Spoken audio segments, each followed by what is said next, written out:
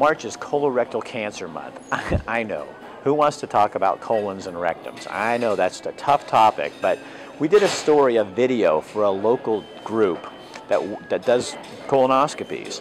And uh, I did the process myself because I was 50 at the time and needed to get that done. And it really is not that bad. And that's why we show this video because if you know somebody in their 50s that needs to get checked up, link them to this video because it's just not that big a deal and it can really save your life.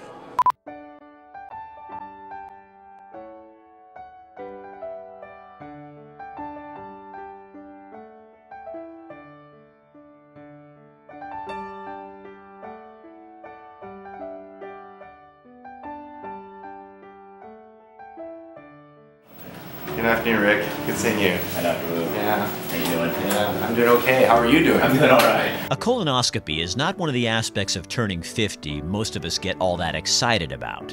Most of the time, patients will say that the procedure itself, after this point, is a piece of cake. Okay? It's all getting ready for that with drinking that stuff and fasting. That's the hardest thing.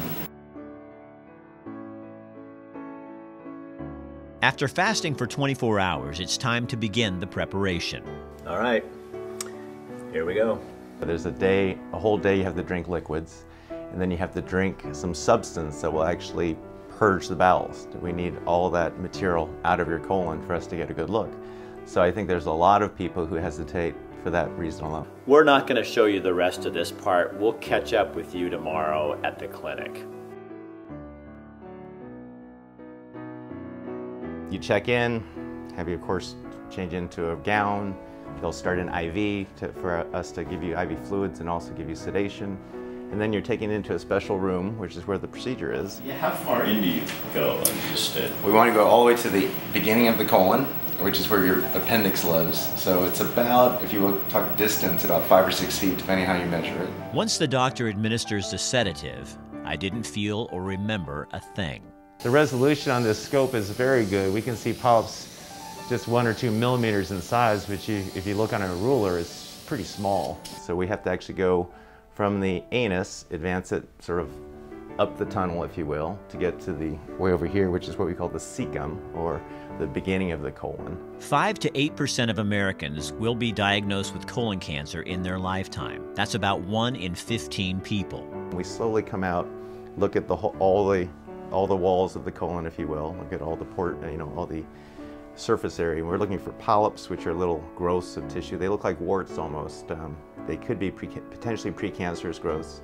And we look for anything that might be abnormal. Colon cancer is one of the only cancers that the death rate is actually dropping. Colon cancer is also one of the only cancers you can prevent with this type of procedure.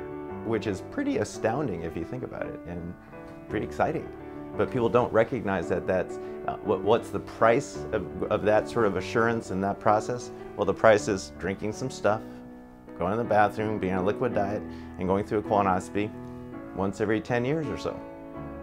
That's not that big a deal. Still, of the people who should be getting screened with a colonoscopy, only about 50% are actually doing so.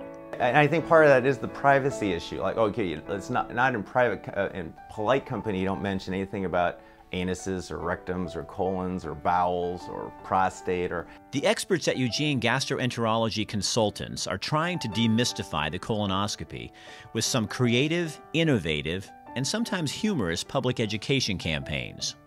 As I mentioned, sort of puritanical view of, oh, you know, let's not talk about that. Um, but they didn't talk about breast cancer 50 years ago. It was a taboo topic. You know, it's like, oh, don't ever talk about breasts. That's, that's not what you talk about in polite company. But you know, if you look at what's changed over the years, that view has changed, and appropriately so. The hope is the more comfortable we become talking about these issues, the more normal the colonoscopy will be. The colon conversation is slowly changing.